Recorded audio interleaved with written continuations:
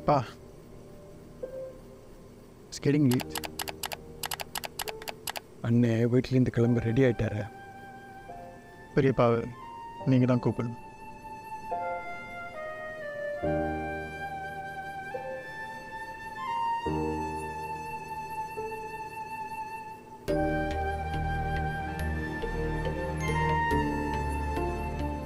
மாமா மாப்பிள்ள இது என்னன்னு தெரியுதா தங்க வேண்டும் நீங்களா மாமா எழுதுறீங்க ஆனா இல்லை இது என் தங்கச்சி சாரதாவோட வேலை அவ புதுசா எழுத கற்றுக்கிட்டப்ப மொத மொத எழுதுனது இதை அடிச்சிடலான்னு எங்க அம்மா எத்தனையோ முறை சொன்னாலும் பெரிய ஐயா இருக்கட்டும்னு விட்டுட்டார்.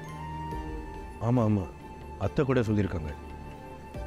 எல்லாருக்கும் இது ஐயா வீடு உங்கள் தங்கச்சிக்கு மட்டும் தங்கம் இல்லைன்னு அண்ணே. நேரம் ஆயிடுச்சு வாங்க கிளம்பலாம். நானே இருந்துச்சு அக்கா வீடு முழுக்க நல்லா பார்த்துட்டீங்களே? எதையும் மறக்கலையே? உனக்கு மூணு தடவை பார்த்துட்டேன். எத்தனை வருஷம் வாழ்ந்த இந்த வீட்டை விட்டுட்டு? அங்கே போய் எப்படி இருக்க போகிறேன்னு தெரியல சரசு.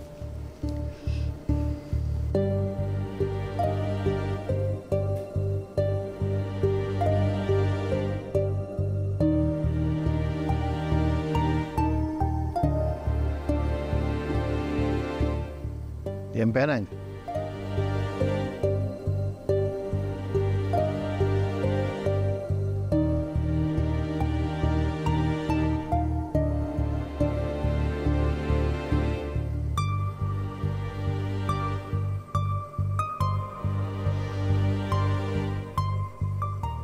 மாப்பிள்ள தாத்தா ஃபோட்டோ எடுத்துக்குங்க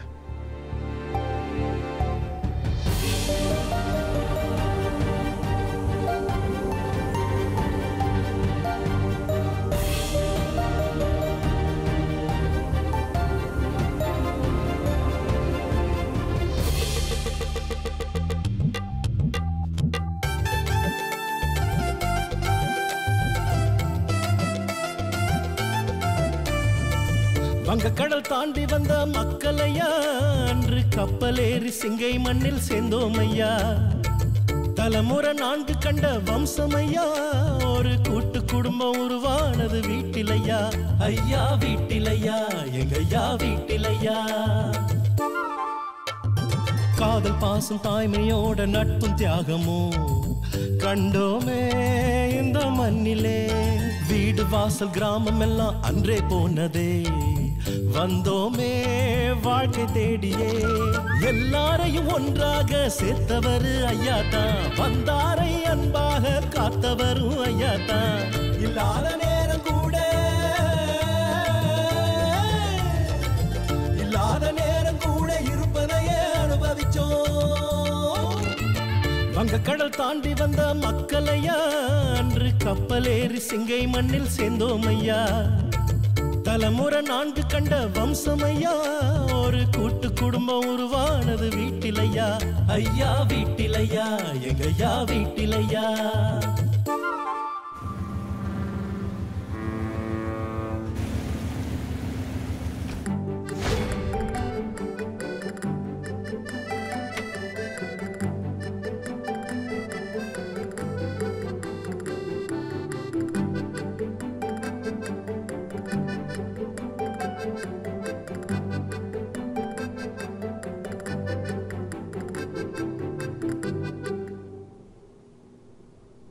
ஆத்தா உன் மடி தேடி வந்திருக்கோம். எங்கள் அடிமடி காத்து தலைமாடு காத்து பவுசா பார்த்து நடத்து ஆத்தா சிங்காத்தா. சிங்காத்தாவா? இந்த சீமையோட பேரு சிங்கப்பூர்னு தானே சொன்னீங்க. இப்போ எங்கள் ஆத்தா சிங்காத்தாவை தானே எழும்பியிருப்பா? அது சரி. இங்கே கோவில் குளம்னா பக்கத்தில் இருக்குல்ல. கோயில் இருக்கு. குளமெல்லாம் தொலைவா ஜோரில் தான் இருக்கு. இப்போ தண்ணி போய் தூக்கி ஆடணும்ல? வீட்டுக்குள்ளேயே கிணறு இல்லையா? ஒரு வாளியில் கைத்தை கட்டி தண்ணி இறைச்சிக்க. இந்த பக்கம்லாம் கிணறு இல்லை. பைப்பு தண்ணி தான். ஜொகூரில் வாளி எடுத்தா இல்லையே? வாளி கொஞ்சம் தண்ணி சாப்பாடு சமையல்லாம் என் கூட ரொம்ப நாளாக வேலை செய்கிறாரு இஸ்மாயில் அவர் கொண்டாடுறாரு.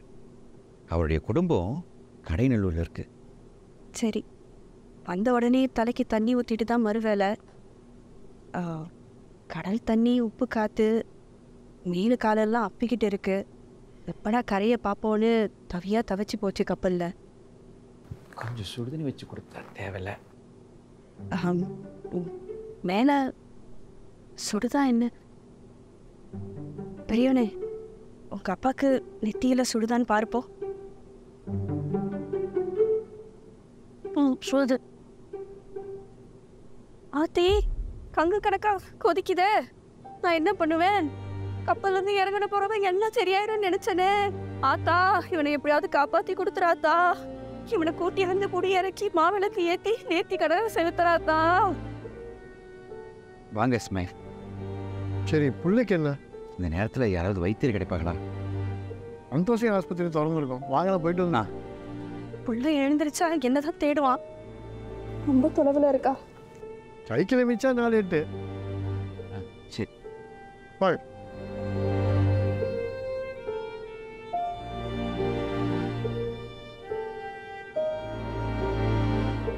ஐயா வீட்டிலையா? எங்கய்யா வீட்டிலையா? ஐயா வீட்டிலையா? எங்கய்யா வீட்டிலையா?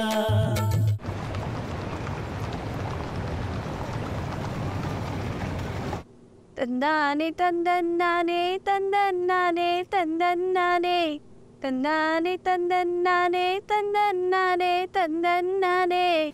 நெத்தி முடி? நிறைஞ்சி பழ நிறத்தழகே நேத்து வந்த நிலம் விளங்க பூத்து வந்த சிரிப்பழகே. சிதம்பரமும் சாரதாவும் சேத்தனைக்கும் அவராசா. உங்க பார உரிச்சி வச்சு பிறந்திருக்கும் Nadarajah A devotional song uh, praising God. Uh, well, it's a family song. praising me. Hey, so she's singing about you. Uh, me, uh, my children, and this land. Interesting. Well, we're happy to have you all here. Thank you. Now, this is a 20 year lease, Okay. okay?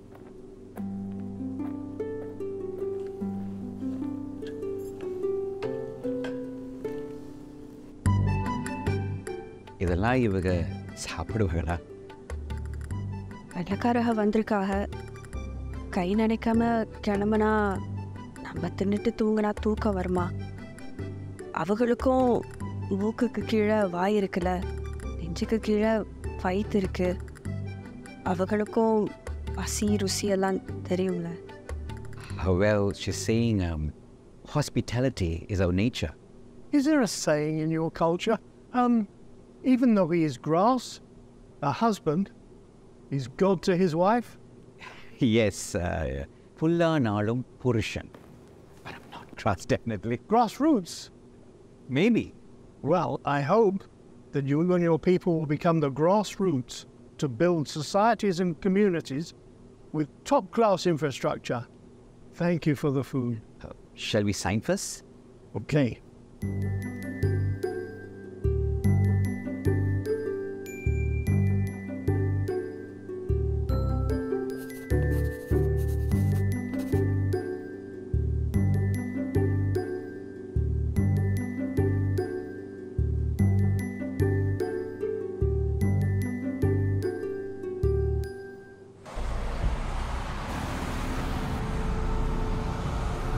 இப்படி உட்காந்துருந்தா எப்படி?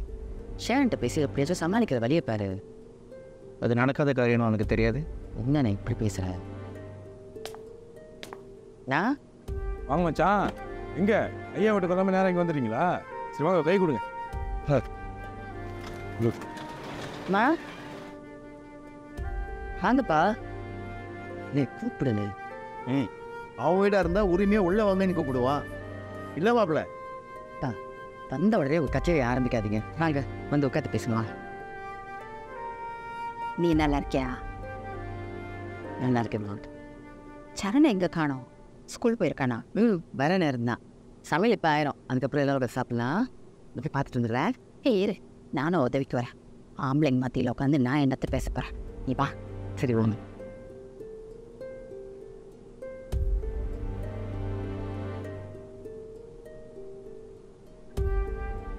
மாமா. அறுபத்தஞ்சு வருஷமாக அந்த வீட்லேயே வாழ்ந்துட்டு. இங்கே கொஞ்சம் கஷ்டமாக தான் இருக்கும். அப்பா. அப்பா நான் என்ன பண்ணுறது உங்களுக்கு என் பொண்டாட்டி பற்றி தெரியும். நின்னா குத்தம் நடந்தா குத்தம். டேய் நீ ஒழுங்காக நடந்துட்டா அவ ஏன்டா உன் மேலே குத்தம்? பாயிண்ட்டு மாமா. நீங்கள் ஒன்று மச்சா கொசும். அவன் சமைக்கிற சீன சாப்பாடு உங்களுக்கு ஒத்து வராது. டேய் என்னடா பேச சிங்கப்பூரில் நானும் உங்கள் அம்மாவும் சாப்பிடாத சாப்பாட்டு இடம் பொண்டாட்டி சமைச்சிட போகிறான் சூப்பர் மாமா. நீங்கள் ரெண்டு. மச்சான் கோஷோ நீங்கள் வேற கொஞ்சம் சும்மா இருக்கீங்களா மச்சான்? டேய் நீ ஏன்டா அவர் சும்மா இருக்க சொல் ஒரு மருமவளாக இருந்தாலும் எவ்வளோ பெருந்தன்மையா என் வீட்டில் வந்து இருந்த மாமான்னு அன்பா கூப்பிட்டார். நீ இன்னைக்கு டேய் நீ ஒத்த பையன்டா எங்களுக்கு. சாதா காலத்தில் எங்களுக்கு கை விட்டுட்டீங்களே மாமா மச்சான சொல்லி என்ன இருக்கு? அத்தைக்கு அங்கே இருக்கிறத விட இங்கே இருக்க தான் பிடிச்சிருக்கு பாருங்க. கிச்சன் பக்கம் போனவங்க அங்கேயே செட்டில் ஆகிட்டோம் சாரி போட. நீயும் சாரியும் நீ சொன்ன ஒவ்வொரு சாரிக்கும் ஒரு செங்கல் கொடுத்துருந்தீனாக்கா அதை வச்சு நான் ஒரு ஹெச்டி ஃப்ளாட்டே கட்டியிருப்பேன். மாமா நீங்கள் மூணு. மச்சான் கோஷம் கேம் ஓவர்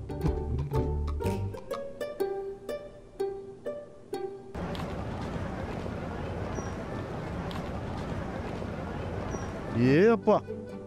வீடு வீடு மாதிரியே ஆயிரும் போல.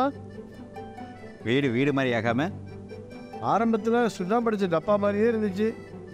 இப்போ என்னன்னா தெருவே தொலைங்கிடுச்சுல்ல குடும்பத்து பொம்பளைகளுக்கு அள்ளி கொடுக்கணுமா சொல்லி கொடுக்கணுமா? கொஞ்சோண்டு மண்ணில் கிள்ளி கொடுத்தோம்னா கோயில் வைக்கிற மாட்டாங்களா? அப்போ இந்த மண்ணை கோயிலாக்குறது தான் அதில் கூட்டிகிட்டு வந்திருக்கீங்களோ? அது இந்த மண்ணை தான் கேட்கணும். எங்களை எதுக்கு கொண்டு வந்திருக்காத்தா பக்கத்து வீட்டு வரைக்கும் போயிட்டு வந்துடுறேன் சின்னமாச்சும் வாங்கணுமா அது இந்த அரிசி மாவு கேட்டுட்டு வரலாம்னு. எப்படி கேட்பிய உங்களுக்கு பாஷை தெரியுமா? தெரிஞ்சுக்கணும்ல. பக்கத்தில் இருக்கிறவங்களையும் அவங்க பழக்க வழக்கங்களையும் அரிசி மாவு தான் அங்கேருந்து கொண்டு வந்த போல? அப்போ அது கேட்ப மாவு? அதை கேட்டுட்டு வரேன். சரி சரி. போயிட்டு வரேன். கலங்கலையே ஏதாச்சும் வேணும்னு கேட்க போகிறதெல்லாம் வெறும் சாக்கு போக்குக்கு தான். இப்படி போனால் தானே அக்கம் பக்கத்தில் பழக முடியும். கொடுக்குற கையா தெரியுது? வாங்க போகலான்னு பார்த்தேன். கொடுக்குற மாதிரி போனால் அவங்க நமக்கு கீழே இருக்கிற மாதிரி நினச்சிக்க மாட்டாங்களா? அதான் வாங்க போகிற மாதிரி போனோம்னா பழகலாம்ல. சரி. அஹ், பத்தொன்பது வயசுலேருந்து சிங்கப்பூர்ல நம்ம கூட தான் இருக்கியா. ஆமாம் கல்யாணம் கட்டிட்டு மூணு தடவை முழுக்கடு போயிட்டு கணக்குன்னு வந்துட்டியா? ஆனால் மூணு பிள்ளை ஆயிடுச்சு. அது அ, சும்மா இருங்க அவங்களை இப்போதான் முத முத கூட்டிகிட்டு வரியா ஆனால் எப்படி அவளை பற்றி உங்களுக்கு இவ்வளோ தெரியுது? அவங்கள பற்றி எனக்கு ஒன்றும் பெருசாக தெரியாது. இப்போ தான் கொஞ்சம் கொஞ்சமாக கற்றுக்கிட்டு வரேன். எல்லாம் எங்கள் அம்மா வழக்கமாக செய்கிற வேலை தானே. தாயை போல தாரம்னு சொல்றியா? சரி நீங்கள் எப்போ உங்கள் குடும்பத்தை கொண்டு வர போறீங்க? நீங்கள் கோடு போட்டியல்ல அடுத்தது நான் ரோடே போட்டுடுறேன் ஐயா வீட்டிலையா? எங்கய்யா வீட்டிலையா? ஐயா வீட்டிலையா? எங்கய்யா வீட்டிலையா?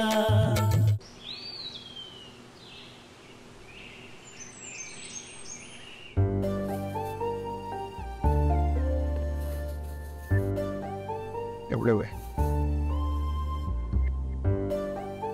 பா. என்னவ? இவ்வளோ நேரம் இந்த கிராஸ்வேர்ட் பஸ்லேயே விளையாண்டுட்டு இருப்பீங்க? உங்களுக்காக ஸ்பெஷலாக நானே காஃபி போட்டு இருந்திருக்கேன். நீயா? நம்பி குடிக்கலாமா? அப்பா!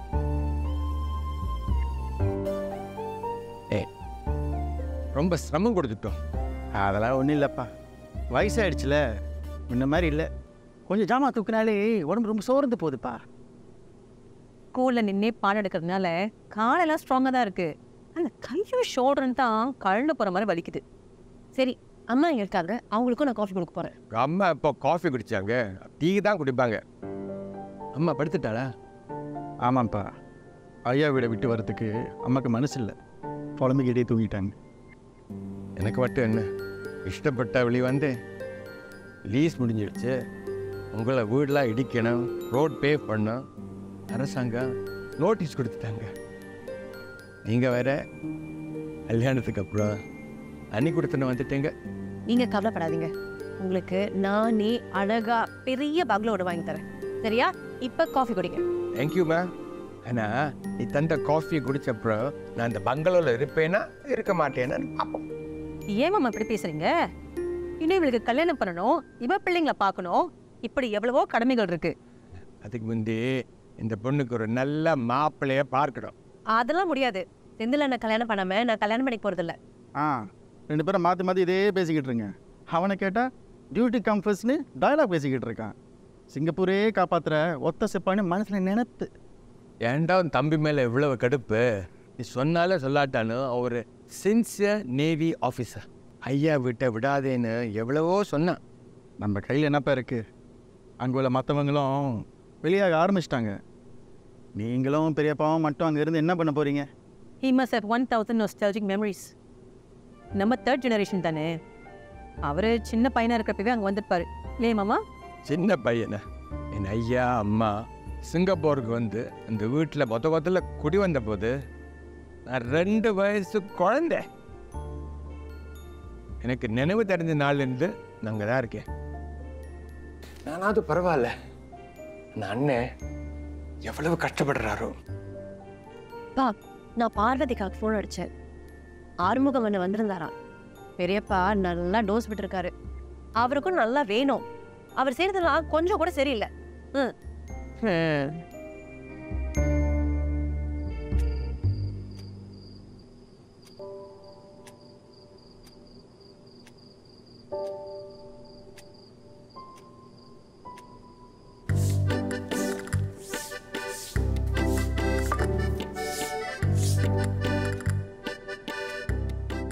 வெறுங்கையோட வந்த மாதிரி இருந்தது? எது வாங்கிட்டு வந்த மாதிரி தெரியல. வாங்கலையே. புள்ள கொலையா அழுதுகிட்டு இருந்துச்சு. மாவு வாங்க போறேன்னு தெரியும். பிள்ளைக்கு என்னாச்சு? ஆள் இல்லை. வீட்டில் இருந்துச்சு? வீட்டில் இல்லை. அப்போ கொடுக்கலையா? கொடுத்துட்டேன் வீட்டில் பால்ல அப்புறம் எப்படி போய் ஓ சரி சரி. சிங்காத்தா மூஞ்சிய பார்க்காம தானே பேசுவாங்க இப்போ என்னதுக்கு இப்படி பார்க்குறாங்கன்னு தெரியலையே. விலவிலன்னு வருதே. என் மூஞ்சிய கொண்டு போய் எங்கே ஒளிச்சு வைக்கணும்னு தெரியலையே. இவ தங்காத்தாவா இல்லை சிங்காத்தாவா? அது இந்த தைலத்தை கொஞ்சம் எடுத்தறியா? தலை ஏதோ பண்ணுது.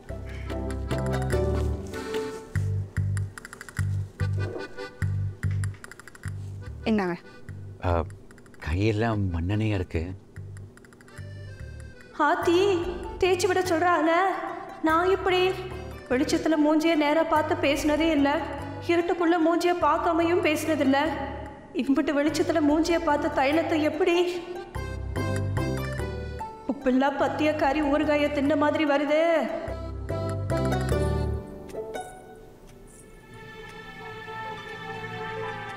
தங்கம் தங்கம் தங்கம் என்ன யார் இருக்காங்க தங்கம் Boleh saya masuk? யாராவது இருக்கீங்களா தங்கம் தங்கம் என்னாச்சு Apa dah jadi? istri saya dia sudah pingsan Tak apa. Saya panggil jiran kita. Dia dukung Cina. Dia boleh tolong.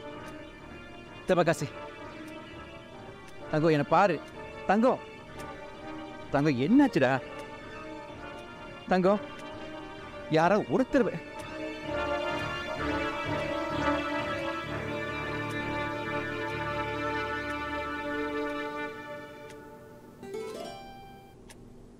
dia baik Dia sangat baik. Dia mengandung. Ngandung lagi. Hebatlah kamu. terima kasih Pat, pat, Melus. இத்தனை பேர் இருக்காங்க Kamu sangat baik hati. Tuhan berikan kamu rezeki yang banyak. என்ன சொல்ற ஆத்தி மறுபடியுமா வேணும் வேணும்னு சொன்னாலும் லேஸ்ல கொடுக்க மாட்டா போதும் போதும்னு சொன்னாலும் நிறுத்த மாட்டா ஆத்தா உன் பிள்ளைங்களை நீதான் ஆத்தா பாத்துக்கணும் Ini Yunli, dukun Cina. Ini suaminya, Chan. Ini suami saya, Zaiful. Saya Nurul, jiran awak. Nanti esok kami datang bah semula ya. Hmm?